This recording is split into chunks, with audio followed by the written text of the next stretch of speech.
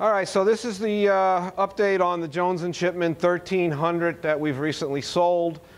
Uh, as you see here, I've got it opened up, and I'm going to start this up. Don't be alarmed by all the oil that comes pouring out of it. Number one, I've got uh, it mixed with mineral spirits, so it's very thin, and that's just the way these machines work. When the cover is on and sealed, all that oil will remain inside the machine. So right now, if I start the table moving,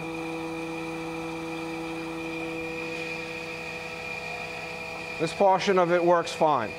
Okay, we can slow this down, and it reverses.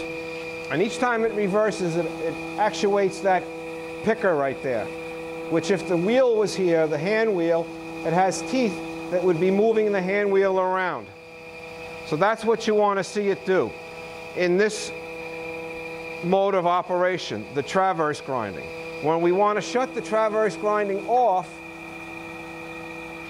turning on the continuous or the plunge feed, you turn this clockwise, and you see how that pulls it in, but it's supposed to go in and out, in and out. It should be ratcheting in and out right now like a machine gun. It should be doing something like this. And that's how it gets that movement.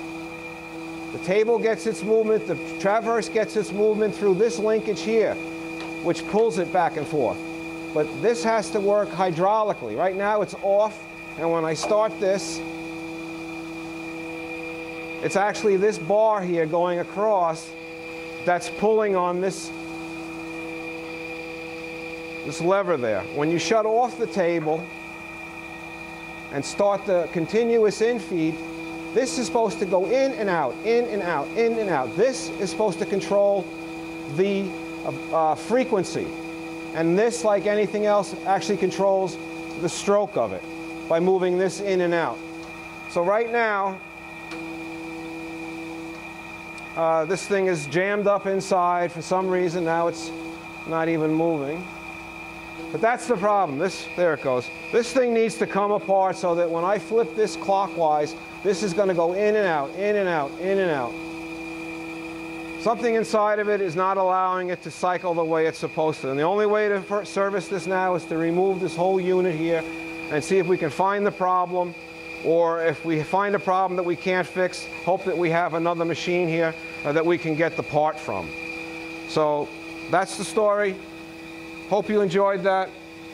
Thank you very much.